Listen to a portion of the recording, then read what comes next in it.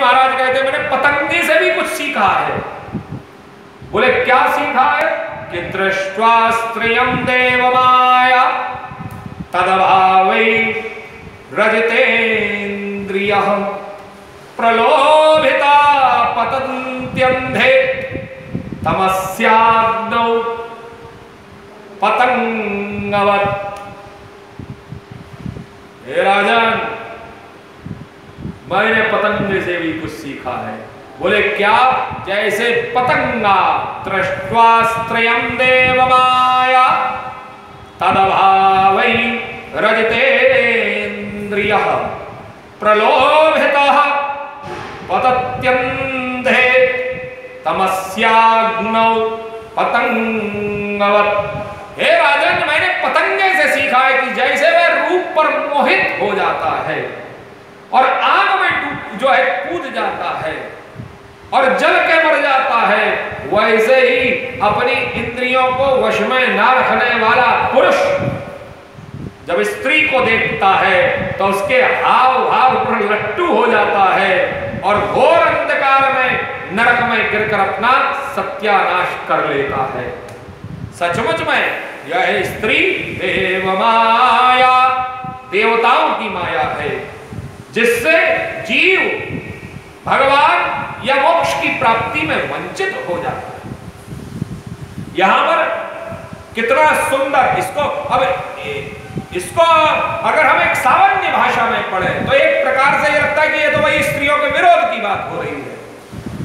लेकिन नहीं, यहाँ पर देखिए स्त्री को कितनी बड़ा, कितना महान पद दिया गया है कि स्त्री कौन है दृष्टवास्त्रयम देव माया की माया है स्त्री।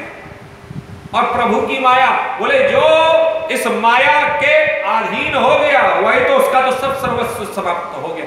लेकिन जिसने इस माया को अपने अधीन कर लिया ये केन प्रकारेण। अर्थात जिसने अपनी स्त्री को लक्ष्मी स्वरूपा बना दिया, उसको नारायण पद की प्राप्ति हो गई। हमारे यहाँ बड़ा सुंदर एक भाव उत्पन्न होता है, श्रीमान। ये श्रीमान का भाव हमको कब प्राप्त होता है?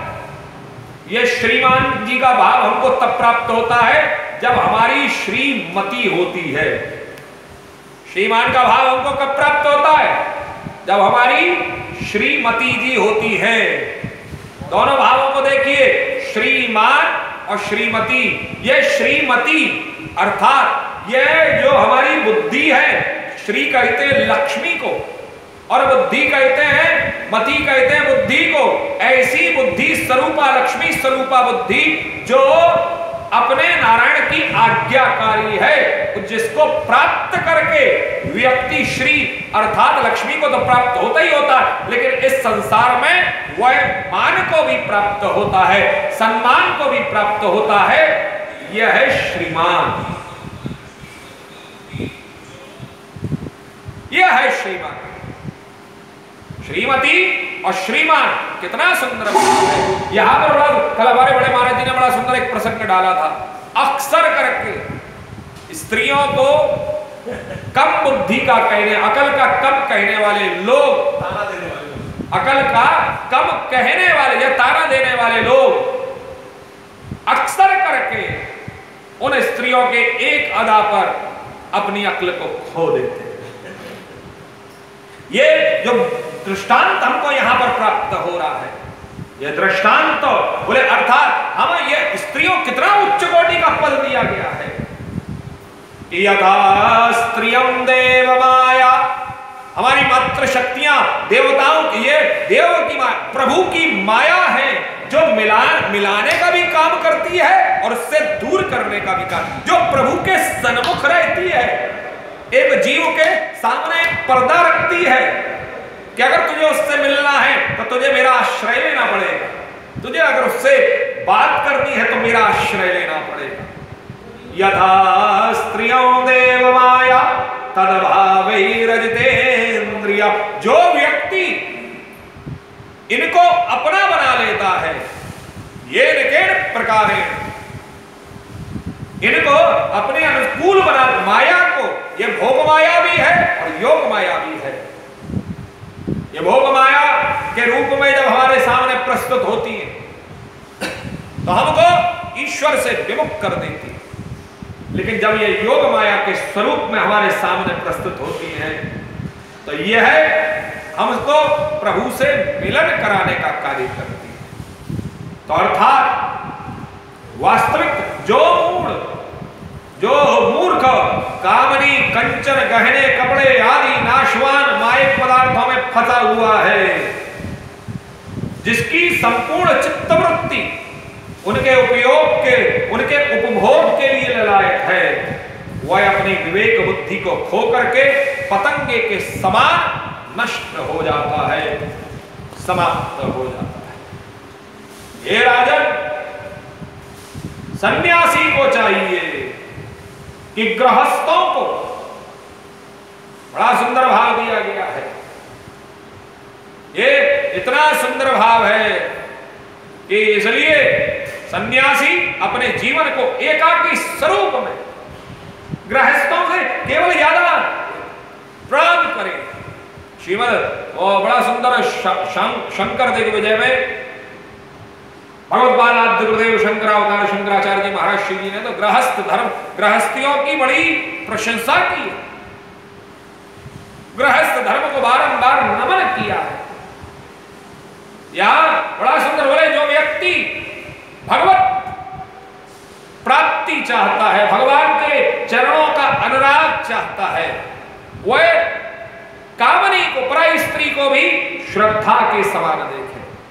उनका मान सम्मान करे, पर स्त्री को सम्मान सम्मान करे। ये बड़ा सुंदर एक भाव स्वामी श्री रामकृष्ण परमहंस। उनकी जो पत्नी थी, वह अपनी पत्नी में माँ का दर्शन करते माँ काली का दर्शन। रामकृष्ण परमहंस ऐसे ही सिद्ध नहीं थे। ये सब जो चीज़ है, ये हमारी अंदर की जो इंटरनल पावर है इंटरनल पावर अंदरूनी हमारी शक्ति उनको जागृत करती है। और जब ये जागृत होती है तो हमको भगवान के पद की प्राप्ति होती है। इसलिए हे राजन, व्यक्ति को चाहिए कि वह पतंगे से शिक्षा ले, कि रूप पर मोहित और रूप किसी भी प्रकार का हो सकता है। रूप स्त्री स्वरूप यथा स्त्रियम देव माया। स्त्री स्वरूप में भी आ सकती है वह माया। वह माया कंचन कामनी है रुपए पैसे के रूप में रूप में भी आ सकती है। रुपया पैसा, वह भी श्री का स्वरूप है। रुपए पैसे के रूप में भी यह माया आपको भटका सकती है। यह मूल पदार्थों के तत्व में भी यह माया हमको भटका सकती है। गले में मोटी सोने की जंजीर पड़ी है, उसमें भी हमको भटका सकती है। अर्थात बोले, निर्लिप्त रहे व्यक्ति। उसको रूप को देख करके अद्वैत उसके अधीन ना हो।